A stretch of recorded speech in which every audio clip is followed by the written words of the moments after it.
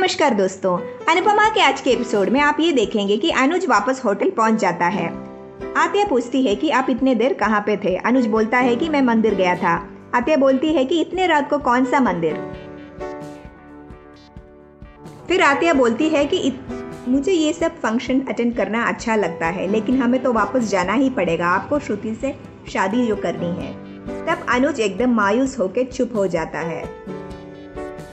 वहाँ अनुपमा के भाई अनुपमा को रसगुल्ला खिलाता है और बोलता है कि स्पाइसन चटनी के चोर के पकड़ने के खुशी में है ये रसगुल्ला। अनुपमा बोलती है कि सच सामने आया है तो अब रेस्टोरेंट भी खुल जाएँगे। ईशानी बहुत खांसता है, ये देख के बापूजी उसको कप सिरप पिलाता है। ईशानी और ज़ोर से खांसने लगती है और खास खास के बेहोश हो जाती है।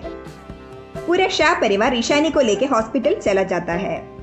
वहाँ अनुपमा को नींद नहीं आती है। तभी काव्या फ़ोन करके अनुपमा को बोलती है कि ईशानी की तबीयत खराब है। अनुपमा भी हॉस्पिटल पहुँच जाती है। अनुपमा पाकी को पूछती है कि कौन सी दवाई पिलाई तुमने ईशानी को? तब पाकी बोलती है कि बापूजी ने गलत दवाई पिलाई ईशानी को। पाकी बोलती है कि अगर ईशानी को कुछ भी होगा तो उसकी ज़िम्मेदारी सिर्फ़ बापूजी का होगा।